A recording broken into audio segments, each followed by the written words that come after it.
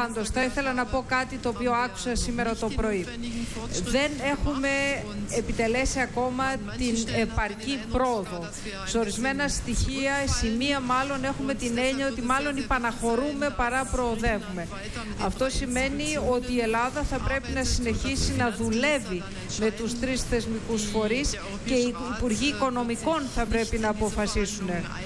Η Σύνοδος Κορυφής δεν θα αναμειχθεί προκειμένου. Είναι 100% θέμα πρώτον των Υπουργών Οικονομικών και μετά των θεσμών να φτάσουν σε ένα συμπέρασμα. Θα συζητήσουμε σήμερα το πολύ σοβαρό θέμα της μετανάστευσης.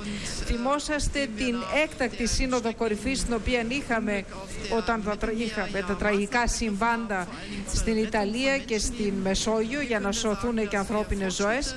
Πρέπει να πω ότι εδώ έχουν επιτελεστεί πρόοδοι, αυτό το βλέπουμε, έχουν γίνει κοινές προσπάθειες, αλλά εδώ και τώρα θα πρέπει να βρούμε κάποιες λύσεις οι οποίες να επαρκούν σε βάθος χρόνου.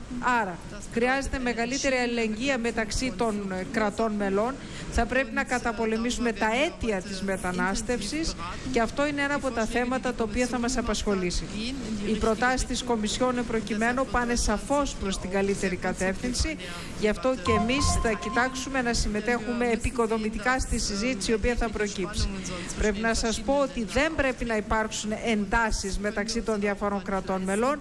Δεν μπορούμε μεταξύ μας να βρισκόμαστε σε αντιπαράθεση. Θα είναι λοιπόν πολύ σημαντικές συζητήσεις οι οποίες θα κάνουμε σήμερα και τα αποτελέσματα ναι θα σας τα παρουσιάσω με κάθε λεπτομέρεια στο τέλος, στο πέρας αυτών των συζητήσεων. Μάλιστα. Θα λέγαμε, θα λέγαμε ότι η κυρία Μέρκελ είχε